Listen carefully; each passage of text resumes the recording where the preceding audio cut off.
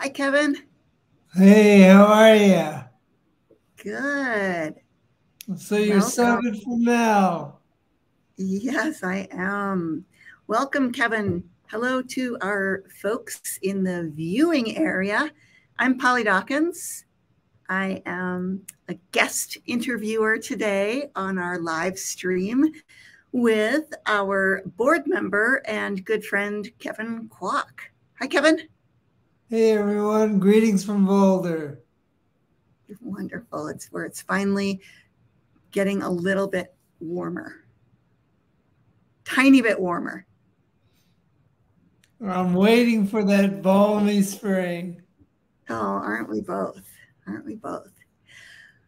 Well, Kevin, I thought we'd uh, start our conversation by introducing you and um, sort of get to know you a little bit and your story. So, to start off, maybe it would be helpful for our viewers to learn a little bit about your background. And then I'm going to ask you maybe to define yourself using a few different nouns. But to start off, you know, who are you as you come into this uh, live stream and, and um, what's your connection to our work? Well, I'll start by saying that um, I've come into this club of being uh, a Parkinson's club member, not by choice, but like all of us, uh, through a twist of fate. I've been living with Parkinson's now for, it's going on, I can't believe it now, but for 14 years. And uh, I'm happy to say that the first decade has been really quite good. Uh, and I would call that the good era in mm-hmm. here. Uh, I've been a lifelong pharmaceutical biotech executive, uh, in addition to being uh, living with Parkinson's. And for 12 years, I managed to maintain a career, um, which uh, in many cases, you see people working four or five, but I was able to sort of shift and pivot my roles to make myself what's the right word um, functional and actually adding benefit to, to to the ecosystem that I worked in. Mm. Um, so um, my background is as a clinical scientist. I'm a pharmacist by training. I have my doctoral degree. Uh, but the things that I come to you with today are, are not scientific, but more just experiential as someone, a fellow person living with Parkinson's. Um, one of the greatest things that has happened to me is the relocation here to Boulder, thanks to the Davis Phinney Foundation. I remember being at a board retreat with you all and thinking about what I was going to do with this new life of mine. You know, I was just coming off a divorce, uh, thinking mm-hmm. about where I wanted to live. I, have been living in, in the Bay Area, California, for almost 25 years before that. And it was time for a change and to, and to hang a new shingle. And, and I remember chatting with Davis and Polly and Connie. Uh, and Connie said to me, Kevin, you should really think about coming here to Boulder. Her comment was, I think you'll live better and live longer if you mm. come here just because of the resources for those of us with Parkinson's. So I sort of bit the bullet and knowing only the three of you moved here. Uh, and that was part of the beginning of era two, which I'll go into in a second. But, Super. Um, and for those of you, for people watching, uh, Davis is, is, Davis Phinney, our founder, and uh, Kevin refers to Connie is Connie Carpenter Phinney, uh, Davis's wife, care partner, and uh, board member, co-founder of the foundation. So that's who that's who Kevin's referring to. Yeah, sorry about that. I should have explained it, that's but I've right. been on the board with all of you for the last several years. And that has been very meaningful in adding uh, what I would call a meat to this whole life of living well with Parkinson's uh, in, in, here. Um, so I would describe my first few years as being sort of blindly optimistic and naive. Mm. You, you know, I, I went through this when I was actually diagnosed with Parkinson's, there was a lot of denial going on. And in, for the first few years, I, I actually didn't tell a lot of my colleagues, you know, that I was going through this because I didn't want the choice assignments to go to someone else. I didn't want the pity party. And so I sort of just internalized it and, and lived the first several years without telling a soul. Um, what were your symptoms? Your, what were your original symptoms that you were able to sort of, as you said, be in the closet and not show your colleagues?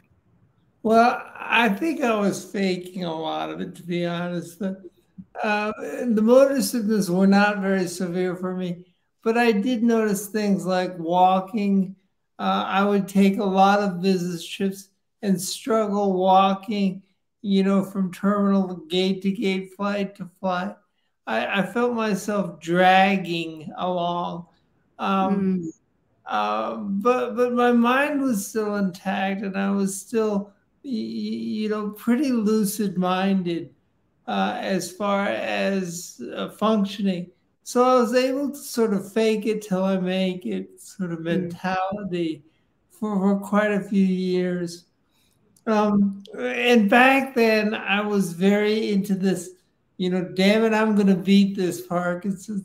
So there was this element of exercise like crazy, uh, and do all the things that you can try to sort of feign your way through.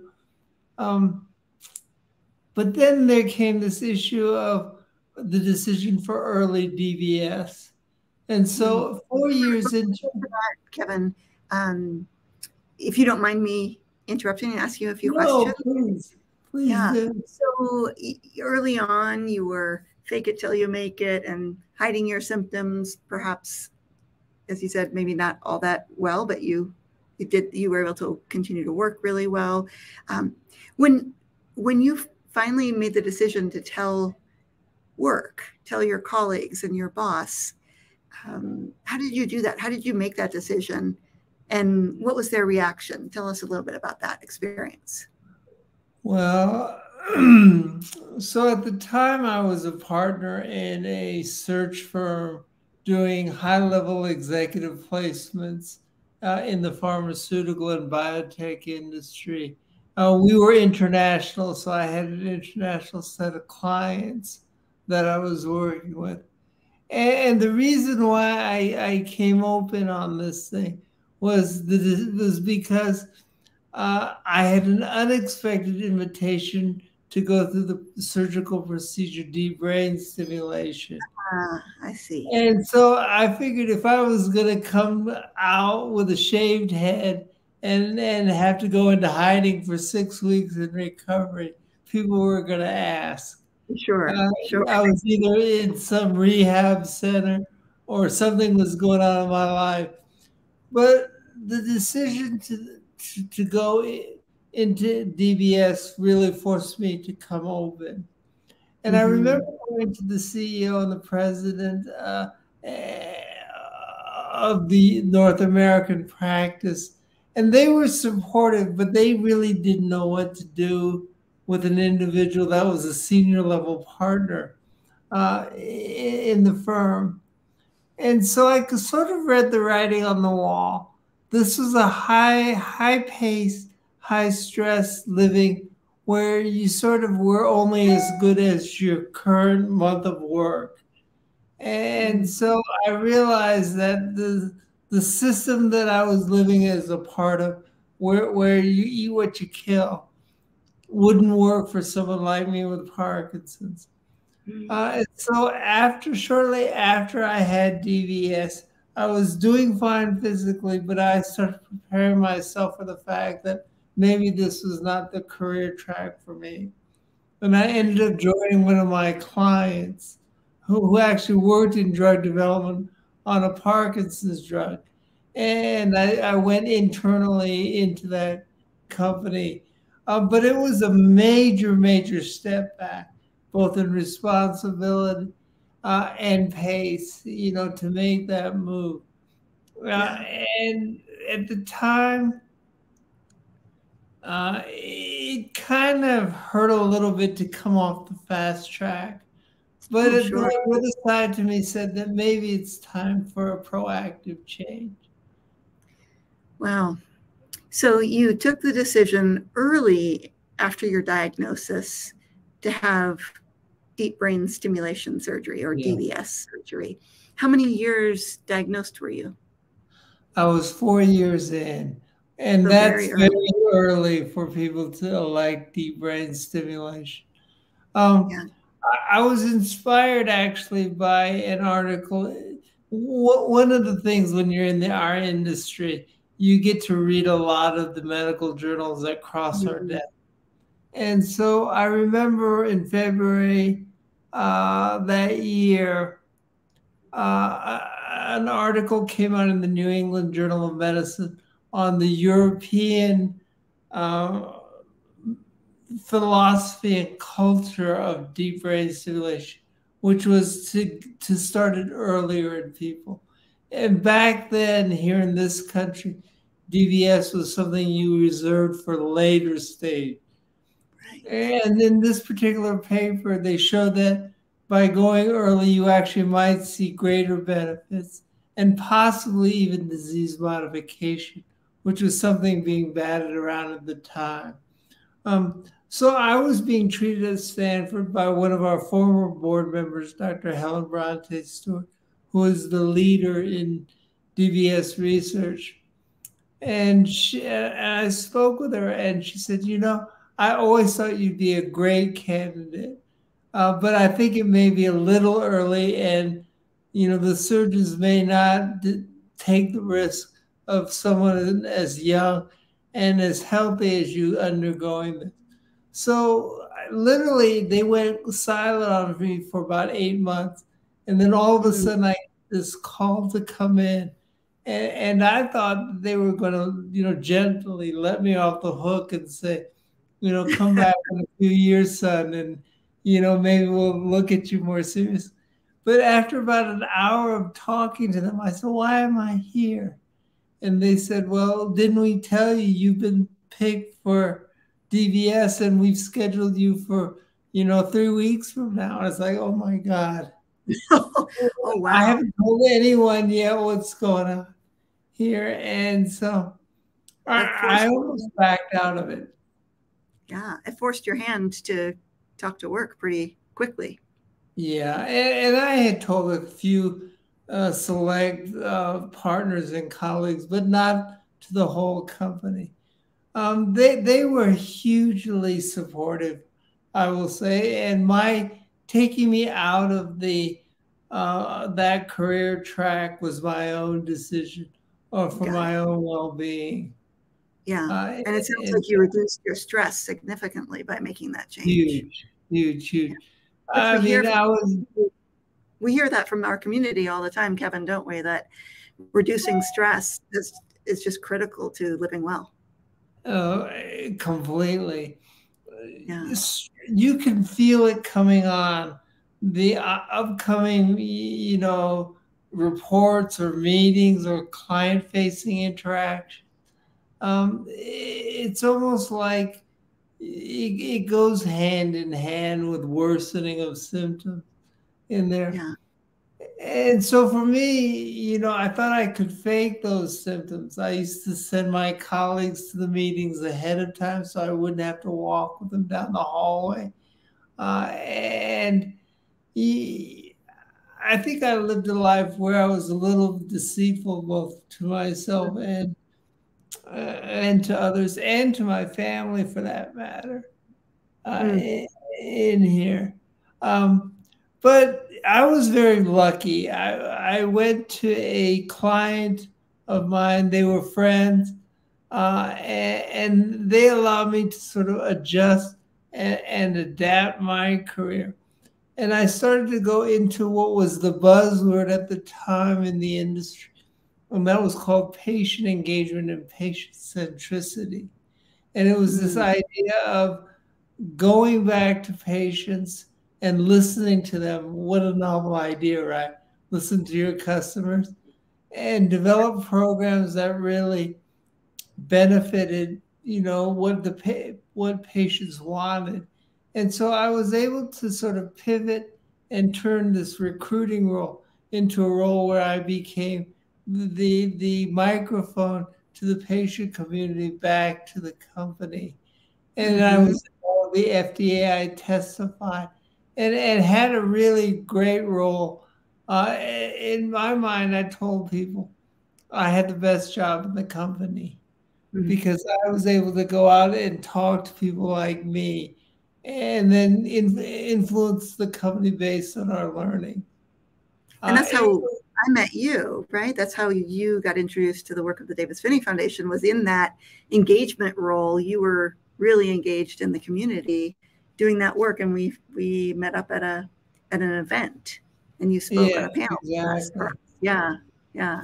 So we were lucky that you had that role because we got to know you and and uh, you know my experience kevin we've known each other for a number of years is that you do that role so well and have done it for years is really speaking on behalf of of people living with parkinson's and, and care partners well I, I think it, i consider myself i used to call myself a patient advocate but then i call myself now a patient activist because ah. advocacy implies a little more passive approach. And I really like to make change in the way uh, that I've entered in as a patient. You know, all my career, I watched the advances that were happening in the pharmaceutical industry based on patient volunteers. And it was that volunteerism where I said, it's now time for me to give back. And I remember mm-hmm. going to Dr. Bronte Stewart early on in my diagnosis saying, How do I give back? And her comment was, What do you mean by giving back? And I said, Well, I feel like I've ridden on the shoulders of other patients who've got us here to where we are today. And now it's my role to help us move to the next the, the next generation of, of this disease. Hmm. So you know, for me, those first 10 years were were sort of ignorant bliss. You yeah. know, I was riding high, feeling good about doing the best I could to, to beat this disease. I was cycling with you all. I, I was still skiing. I was boxing, doing yoga. I mean, I felt almost invincible at that point mm-hmm. in time. Um, yeah. But I, am sorry to say that that was almost faking myself out, hmm. you know, in there. And that sort of leads me to this new phase that I'm entering. It's called the midlife crisis of Parkinson's. right. Before we jump into your midlife, I want to see um, a couple of comments and see if you have any other comments, and then let's hop into midlife. Um, sure. So just to set the stage, if I'm doing my math correctly, You've had Parkinson's for 14 years. Yes. You were in your 40s when you were diagnosed. 48 and first. 48, okay. And you've had uh, deep brain stimulation now for about 10 years then. Is that correct? Uh, that's correct. Yeah. Kendra, in the comments, Kendra said that uh, they had DBS on the earlier side as well, but only on one side, and that um, their untreated side is worse than their original side now. Um, they say that major symptoms are tremors and dystonia. Could you just speak to that? What's your experience? Well, my symptoms early on were pretty much all one sided. They were left sided, you know, in there. And all the rigidity and slow motion was all on one side. Mm-hmm. And for me, there was a curiosity. Do you, because I was faced with the decision, do you have DBS on both sides or one? And they gave me a choice. But for me, I wanted to actually see if DBS was really making a difference on my less affected side. And so, in a way, you become your own control group, right? Mm-hmm. You measure your affected side versus your unaffected side. And, and I was sort of using the analogy of construction on a house renovation when you have the walls open and you're wiring for speakers, you might as well wire the whole thing. it's a good analogy. So, what I've found out over time is that my right side definitely has not progressed as fast as my left side, which is quite a bit more slow. And the um, settings that they've set me on originally have all really focused more on left than right. But mm-hmm. what's really interesting was I, I became involved in a, a five year re, re research project to try to develop what's called closed loop DBS. All right. And so what, what that meant was closed loop, regular DBS is the same voltage and settings all the time unless you manually adjust. But closed loop was supposed to take us to the next generation where it was DBS on demand. So as you needed more, it would adjust you more and it would read, read brain waves and through AI would actually make adjustments. It's, kind of like riding an e-bike.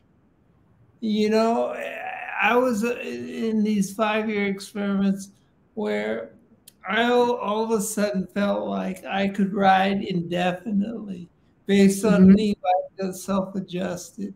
Uh, it was really a wonderful feeling.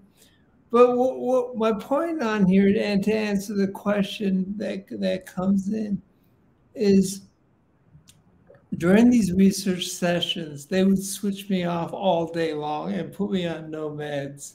And, and, it was almost like as soon as they turned me off, I felt like a stroke had come into my body, where, where my left side would sag, and I, mm. I couldn't keep my eyes open. Uh, this would be something you would do put, to torture political prisoners, right?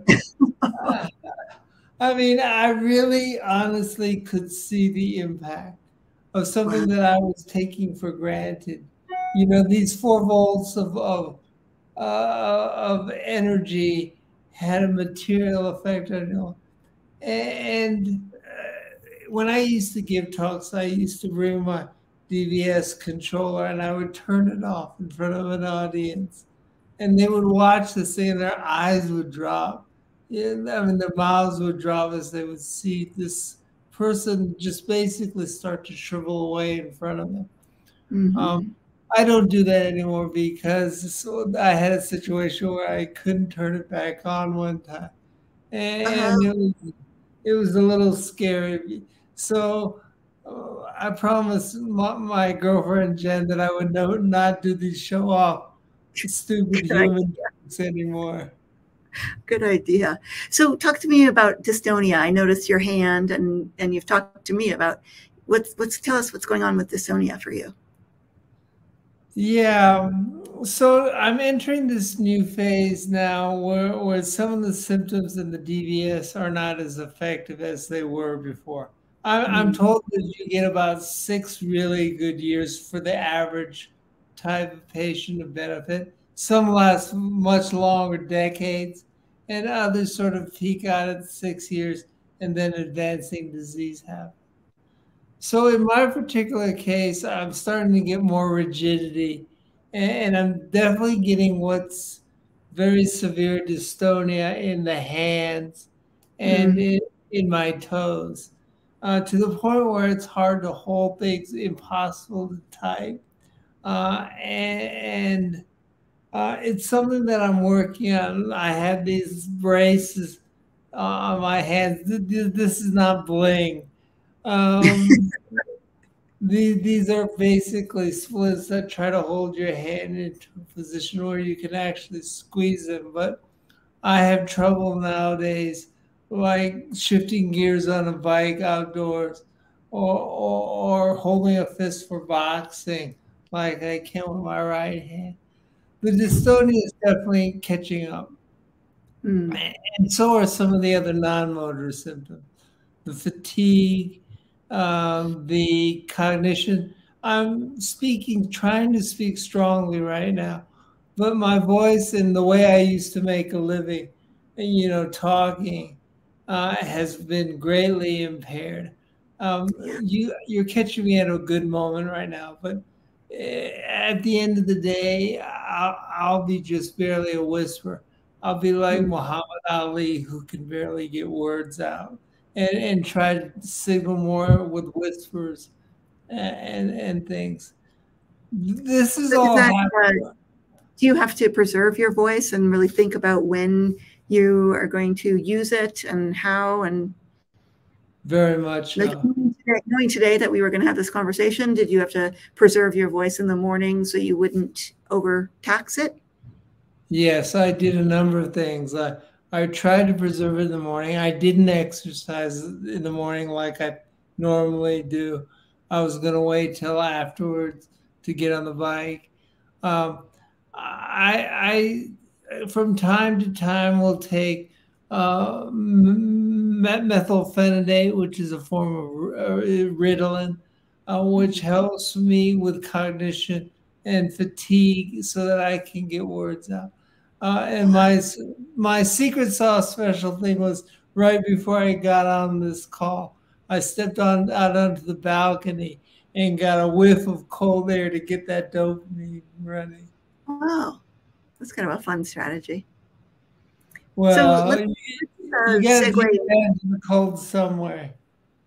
So let as we segue into sort of middle life and uh, living with Parkinson's, if you were looking back at how you would have defined yourself, even even five, ten years ago, living with with Parkinson's, what were some what were some nouns you would have used back then to define yourself?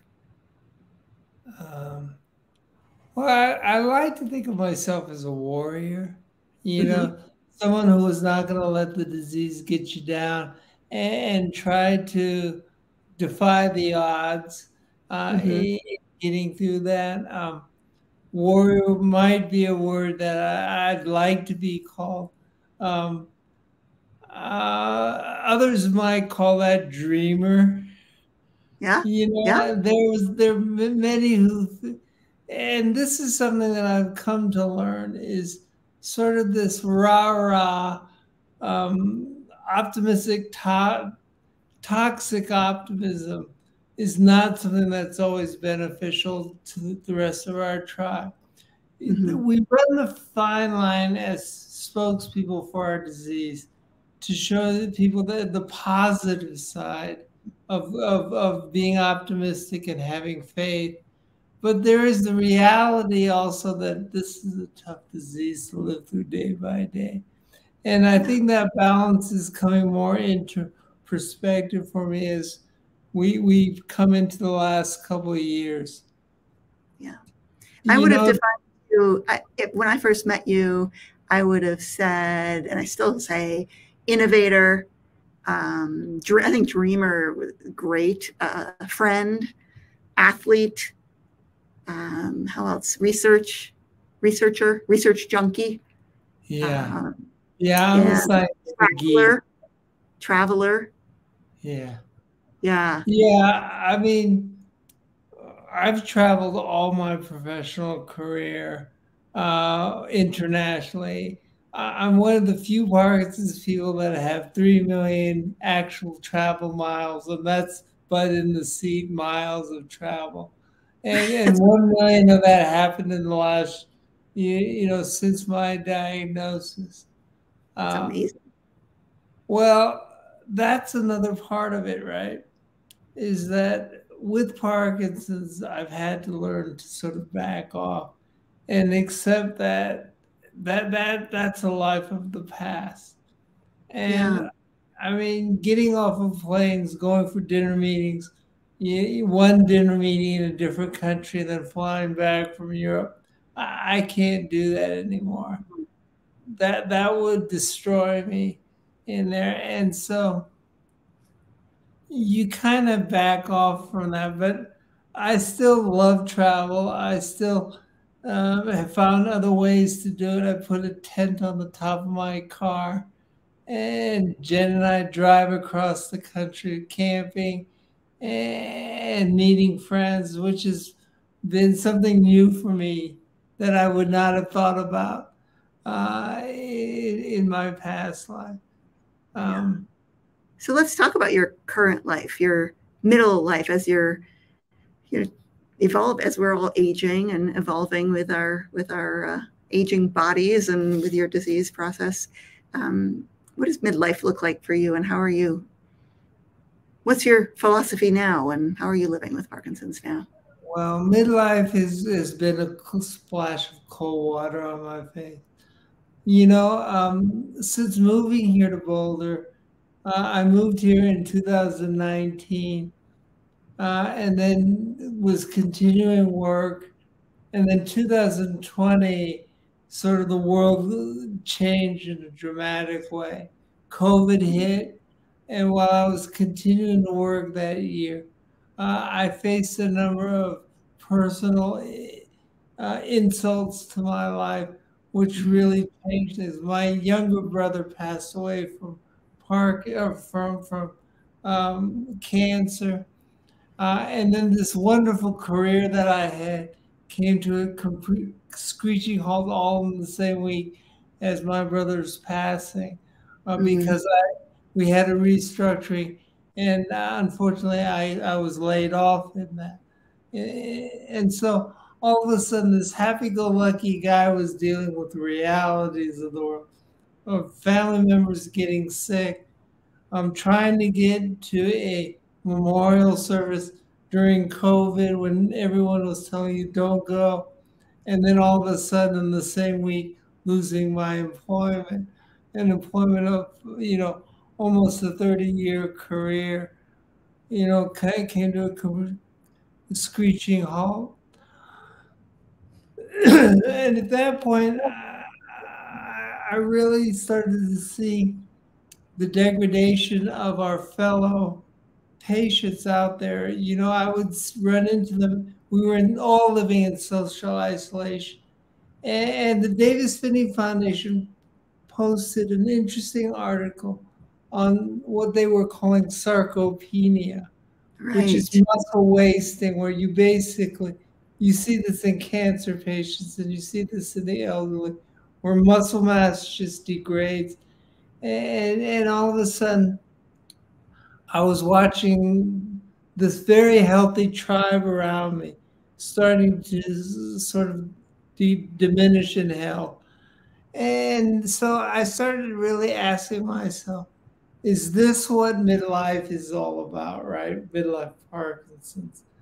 Uh, and so, you, you know, I went from this life of, you know, high speed, not as high as when I was an uh, executive recruiter, but this full life of, you know, nine to five Zoom calls um, for work and then squeezing in a workout and then going you know, getting on the bike on the weekends with people like yourself and Davis, all of a sudden to like, I'm not even trying to get on a bike right now, you know, and I'm going through this fog of cloud trying to de- deal with insurance companies on disability, you know, trying to show people that I I wasn't as healthy as I really was faking to so many mm. people uh, it was a very tough time and a very, uh, it was some dark days for me, to be very frank.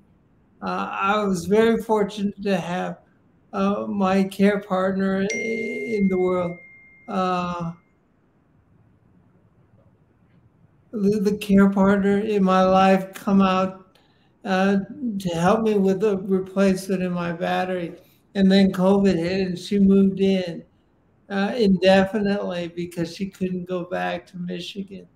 And, mm-hmm. that partnership saved my life, you know, uh, in there. Um, yeah, amazing, isn't she? Oh, well, for those of us who try to do this alone, it's a very challenging thing. And to find the right person who can show the caring and the affection to help you get by is, is, is worth a, it's invaluable, I should say. Um, but what this thing taught me, though, this era, and I'm still learning this right now, is that Parkinson's is not a passing fad. You know, it's here to stay, and we've got to deal with it and live on. And it took me back to the days of when I used to train in martial arts and when I was a college student. I, I, I was able to take one or two electives because we were science majors. Um, but I took a course uh, on Chinese history.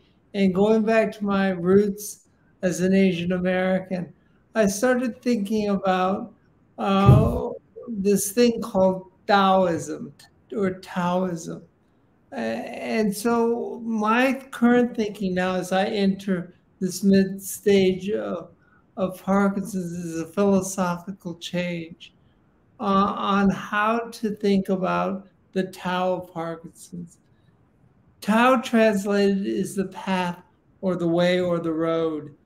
And so, what I'm thinking about now is how do I deal with Parkinson's through this midlife crisis uh, or mid stage as I did in my early stage to prolong the longevity and the living well that I did in stage mm-hmm. one. Uh, and the, the, the word Tao is, has been used in modern days as well. Taoism uh, came is hundreds of years old, maybe uh, from the old Chinese philosophy. But you may have seen it in more modern days. Bruce Lee, for example, used what he calls the Tao of the intercepting fist, which is uh, in the 1970s was something that he really professed. And in the 1980s, someone wrote on Taoism, the Tao of Pooh, I remember that. Winnie the Pooh. right. Trying to translate living well through Winnie the Pooh characters. So here I am in 2023 trying to define what is the, the Tao of Parkinson's in here. And How do you started, define I'm sorry? How do you define that? What does that look like for you? Well, I've been starting to prepare for an upcoming talk that I'm giving uh, to a, to a uh, it's a keynote address, and I've been doing some research on this, not to get bogged down in the philosophical uh, academic side, but Taoism, as I understand, comes down to three main pillars, which really do uh, hit home for me. Those three pillars are simplicity in life, learning patience, and developing compassion. Mm. And through the course of my days, I've tried to find elements of all three of those pillars that I've adapted to. So, for instance, simplicity. My life is a lot simpler now than before because my job is to get on that bike back there every day and make sure that I can do a route for 30, 40 minutes and work up because I know that helps me out get better. Um, Somebody asked if you ride a two, Kendra asked, do you do a two or three wheel bike? I use it too, but it's been interesting for me because with the um, uh, introduction of the dystonia in my hands, and I'm getting into my eyes a little bit where I blink and sometimes it's slow to open. Uh, I'm wondering if I'm safe on the road and so I'm going through Botox in my hands and eyes to see if I can Im- improve that a bit. Mm. Um, I, I have not yet gone to a three wheel, but it may be that's, my. A, that's an indoor. That's an indoor trainer there behind you. Yeah, that's it? the Wahoo trainer that I use uh, five days a week or or more. Yeah, I'm addicted to that bike out there. Yeah, it's my best friend that got me through uh, COVID. But I did get an e bike uh, when I turned 60. Uh, my parents uh, gifted me a gravel e-bike, mm-hmm. which I love it, and I can't wait to get back on because when when you have uh, the battery assisted help, you yeah. feel like you could do a lot more riding. And I'm not done yet. I've still got a no. lot of riding to do in my life. Absolutely. Yeah. So what do you feel like if you you said you get on that indoor trainer 5 days a week? What do you feel like if you don't get on a trainer or you don't exercise? Yeah, when I'm traveling and I don't have access to the bike, I feel sluggish. I mean, the symptoms, the lightness, there, there's two, I think there are two elements that, that, that you, you come through when you have uh, dedication to an exercise. One is you get up in the morning and you prepare your day so that you go out there and train and then there's a physical act of doing it. Um, you just feel better afterwards. It, it setting goals uh, and preparing for events really helps me out because I, I'm the type A person that likes to push myself a little bit harder than I should. But mm. I feel mm. that if I push myself, uh, I'm only getting better but you, well, if you saw me getting off that bike uh, after some of the rides that we're preparing for this tour, this Wahooligan tour, I'm second wind and I'm almost like a zombie. uh, in fact, you're reminding me I've got to get back on and start because the Wahooligan event, for those of you who don't know, is this great virtual ride. It's our metaverse where we actually ride against ourselves in a virtual way. But it's so much fun. I'm addicted to that now. Yeah.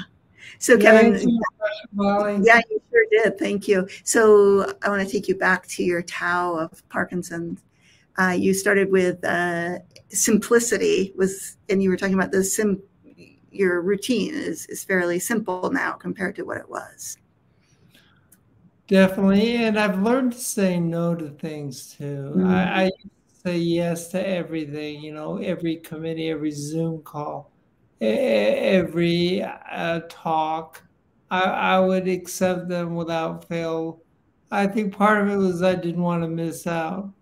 But now being able to cut things off has real benefit on there. Patience is the second pillar and this idea to say that, you know, I'm moving slow, uh, but that's okay, right? And you just build more time in, you know, it, when, when I park the car and try to get out, it, it takes me what seem, must seem like an eternity to, to, to unbuckle my seatbelt and, and get out. But mm. to me, that's okay. I've accepted it. Now, the thing that is the harder thing is being patient with others because they may not know what we're going through. And you can't get angry at them. You've got to learn to educate them. And I think that's some part of the learning that I'm going through right now. So patience and for yourself and patience for others, it sounds like. That's right.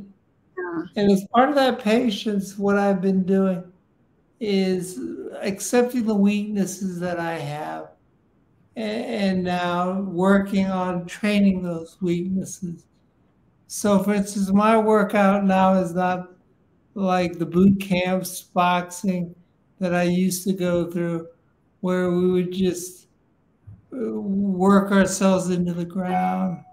Nowadays, I may uh, split my workouts into one third cardiovascular, one third balance and dexterity, and one third weight training.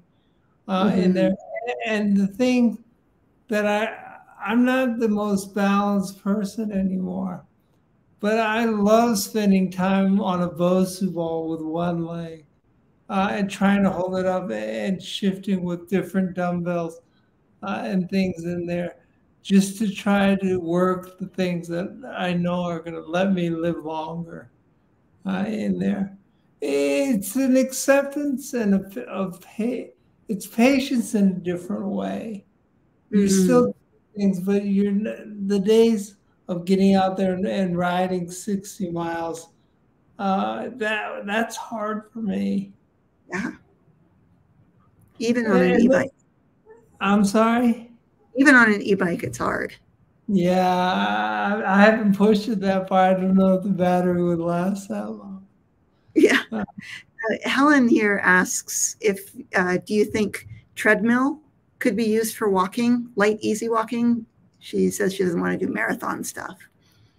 Yeah, you know, this past summer, um, the Brian Grant uh, Foundation, Brian himself asked if I would join his relay team. And I'm not the greatest walker anymore. In fact, I ski better than I walk. Mm. Uh, but I use the treadmill a lot. We were going through a heat wave this summer, and I couldn't get outside in a 100 degree heat to walk.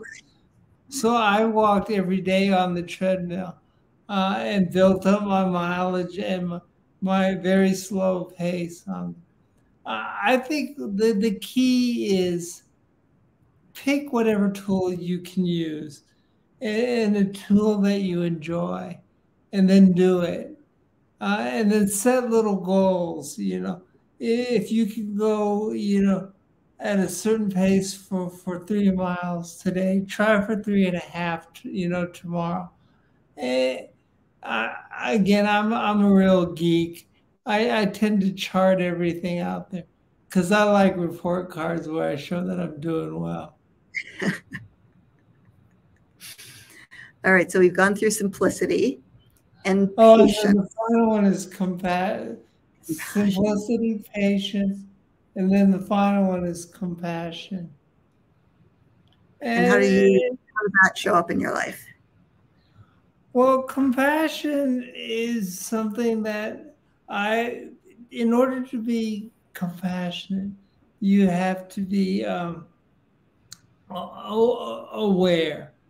And I think the sense of aware uh, of the people around you uh, is so critically important.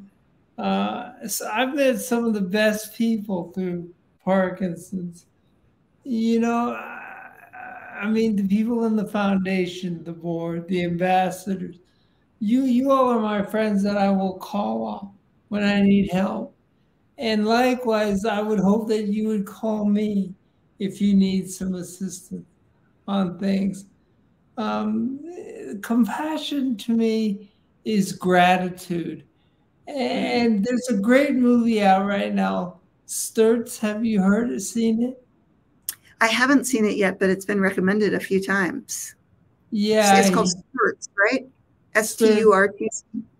Yeah, it happens to be a therapist that has Parkinson's. And he talks about the tools of gratitude and other therapeutic tools that he uses in his counseling uh, for his patients.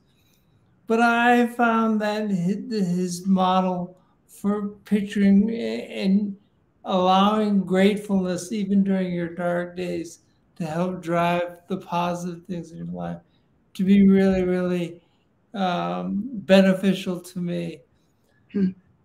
you know this triad of the Tao that I'm trying to discover is still work in progress.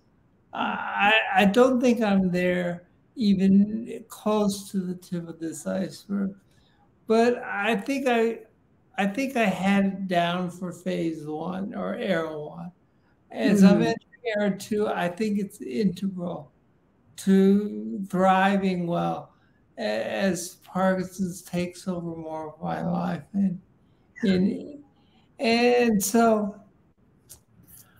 I I'm thinking as I'm contemplating this Tao of Parkinson's, why? I mean, why is it important?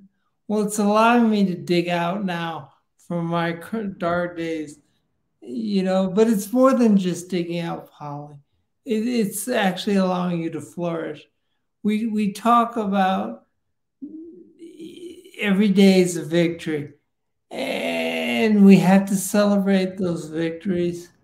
Uh, and the victories become harder as as we enter more of this mid-stage Parkinson's. Um, but what I'm hoping that it does is it allows you to really live well and stretch what could be a two-year period into another decade. That would be my absolute goal in here. And then finally, it, it helps you prepare for the late stage when you finally it comes our way. Because I think it's if you live this journey of, of handling it positive and accepting it for what you have now, at the end, you you'll you'll sort of be embracing it versus fighting it on there. Yeah. Uh, that's my hopes with this Tao is is to find the way of Parkinson's. Yeah, that's beautiful. And I'm looking at a comment from Dawn here who says uh, they've just started and um, stunned how much they still have to learn. Um, it's humbling to meet people who've gone through more. So your your leadership in this and your the way you are discovering your path uh, is really helpful for others to see and and model some of the things you've experienced and take pieces of what you've done and what others have done to to make it easier for them. Thanks, thanks, Polly. You know, I, I, I, the most rewarding situation happened to me a few weeks ago, um, oh, yeah. where someone was introduced to me, and they they called me and said, you, you know, a mutual friend says that I need to come and talk to you to learn more about the science uh, of what's going on with Parkinson's. He'd been a recent newly diagnosed uh, patient. Um, anyway, we had a conversation which started with the science, but ended on this philosophy in life on dealing with it. And, he wrote me a thank you note afterwards saying, I came wanting to learn about the technical aspects of the disease. And I came away after our morning together with a better appreciation on philosophy and life. Hmm. And that just touched my heart because we he was going through a really challenging part in his acceptance in the early times. And I was glad to be able to let him put him on the track of thinking. You know, we talk about the palliative model of, of, of, of Parkinson's care. But part, part and parcel of this palliative care is figuring out the, the entire uh, journey of what we're facing here. So yeah. the beginning will teach you a lot, and you want to master it, and and you'll go through that phase of, of feeling really like I think I'm I'm just starting to get it, and and then you'll hit this mid phase, and then you'll have to adjust. And I'm hoping that that mid phase becomes just a, equally as celebrated as it was for me for the first part, the first mm-hmm. decade. Yeah. Am I getting too philosophical? No, not for me. Certainly, hopefully, our audience uh, can can take some some learnings from that and and uh, sort of the approach that you're you're leading into, which which is really helpful. And you know, acceptance and adaptation is what I'm hearing. Is every new thing that's thrown at you, it looks like you're adapting to incorporate a new approach to living well with with Parkinson's. And you know, when I asked you half an hour ago how you would have defined yourself 10 or so years ago, today, Kevin, as we're wrapping up, how do you define yourself today? I like to think that I'm an ongoing scholar. Yeah.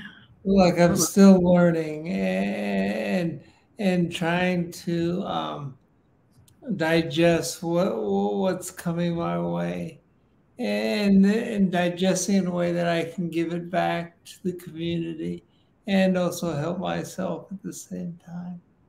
Mm, that's wonderful. If you could go back and talk to Kevin 14 years ago, what would you tell him now? Oh, get off your cocky ass, you know? it's like, yeah, we think we know it. I mean, I talk to my, I think about my own life with my, as a kid with my parents. And then I look at, you know, my college age and post college kids. And we always think we have all the answers. Mm, uh, don't we? But, but uh, Parkinson's is very humbling. It's humbling in the sense that it will always challenge you. Mm-hmm. Yeah. So he, all I can say is I'll close with this one thing that my martial arts teacher used to tell me.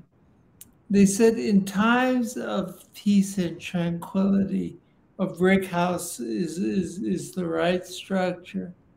Uh, but in turbulent times like typhoons and hurricanes, bamboo survives. Uh, I think that what we need to know is when to be the brick house and when to be bamboo mm. and and and and being floppy sometimes is actually a stronger way to be. And so for me, I'm hoping to adopt that change, that adjustment, uh, which is coming my way. I love that. That just gave me goosebumps. What a great way to close our conversation. Well, I've enjoyed this a lot as well. It's always great talking with. And I hope that um, for the people viewing this, that that you know you you get your own nuggets and develop your own philosophy on how to deal with this, because it's a long road, and you you all will have your own ways in, of coping and adjusting. But just know that we all have are doing this as we speak. Yeah. And we're here at the Davis Phinney Foundation. So feel yes. free to reach out. You can contact many of our all of our ambassadors through the Davis Phinney Foundation website if you're looking for others like Kevin to connect to and share experiences and and we're here for you. So please feel free to reach out to our website and find us and, and connect with us. Thank you all for watching. Kevin, thank you for being here, for all you're doing for our community, and look forward to catching up with you again. My pleasure, Polly. You be all well. Right. You too. Be well. Be that bamboo structure. There you go. Bye bye. Take care.